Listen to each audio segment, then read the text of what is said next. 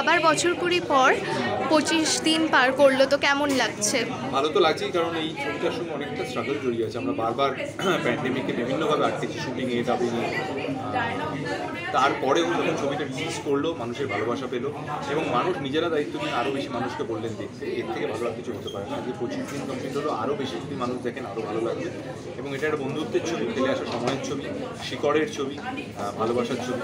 এইভাবেই মানুষের মধ্যে ভালোবাসা আরও বেশিভাবে ছড়িয়ে যায় বছর কুড়ি পর পঁচিশ দিন পার করল কেমন লাগছে? সাধারণ লাগছে দর্শকের রিয়াকশন ভীষণ ভালো।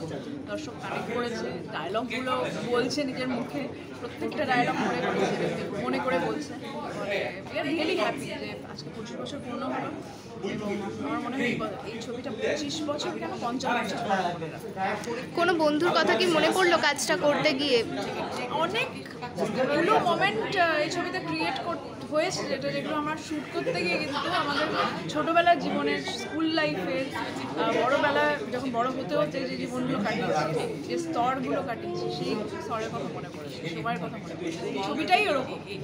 দর্শকদের জন্য কি বলতে দর্শকদের একটাই কথা এই ধরনের ছবি খুব কম তৈরি হয়। প্লিজ দেখুন এবং জানান কেমন লেগেছে। খুব ভালো লাগবে আবার আবার বছর কুড়ি পর আজকে পঁচিশ দিন পূর্ণ করল কেমন লাগছে?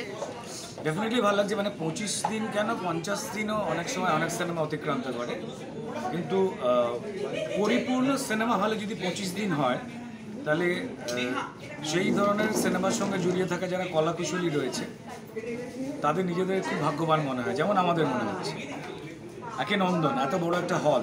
নন্দন মানে হচ্ছে যে বিভিন্ন জেলা থেকে, কলকাতা এবং পার্শ্ববর্তী, হাওড়া, পার্শ্ববর্তী জেলা থেকে, বিভিন্ন দিক থেকে বিভিন্ন মানসিকতার মানুষ আসে। এবং যখন সবার একটা ফিল্ম ভালো লাগে, তখন কিন্তু নন্দন পরিপূর্ণ হয়।